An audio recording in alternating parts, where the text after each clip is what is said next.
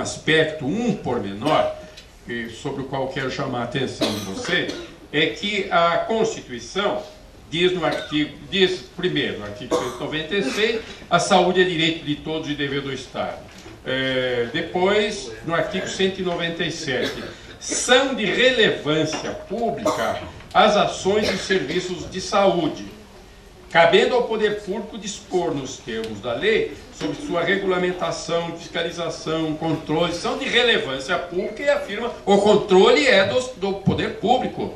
E o que eu queria contar a vocês, é um, é um testemunho que eu dou, essa expressão relevância pública, isso não existia no direito brasileiro. E o único ponto em que aparece na Constituição é, é, é referido ao serviço de saúde. Como foi que apareceu? Por isso? Porque o projeto original de Constituição dizia isso expressamente, são de natureza pública os serviços de saúde.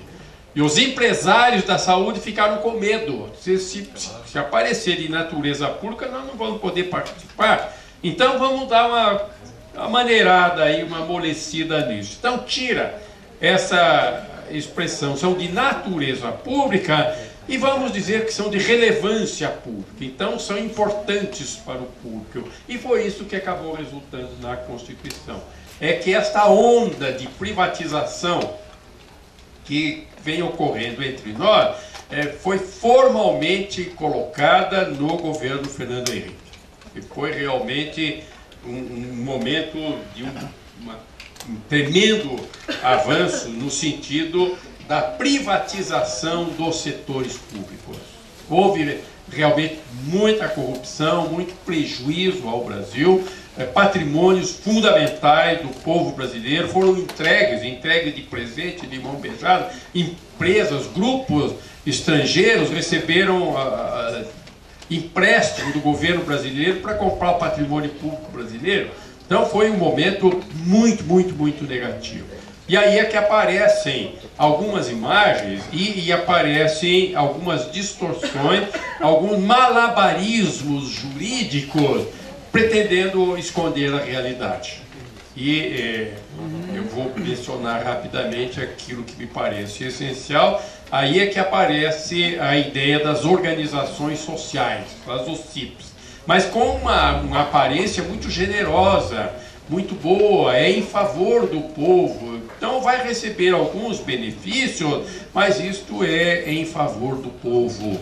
E é então que aparecem várias propostas, uma delas foi esta, ah, aparece a proposta de eh, benefício às instituições filantrópicas. Muitas delas atuam na área de saúde. E aí é que se eh, tornou corrente a expressão, que eu mesmo usei muitas vezes, as pilantrópicas, na verdade. Era a pilantragem sob pretexto de pela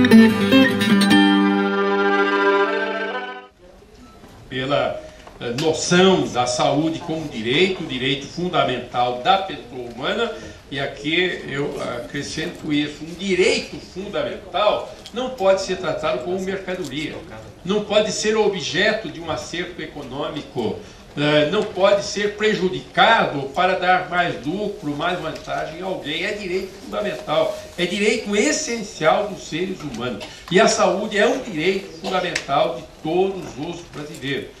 Então é preciso que a, é, a organização do sistema de saúde, a proteção da saúde, tudo que se refere à saúde, tenha este ponto de partida. Que jamais seja subordinado a objetivos econômicos, a objetivos de lucro.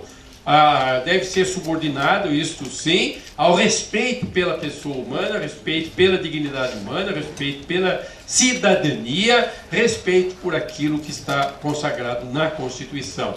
Então, nesse sentido, é, é, é este posicionamento de vocês contra esta privatização, privatização maliciosa, privatização prejudicial, esta tomada de posição é um serviço que vocês prestam a todo o povo brasileiro.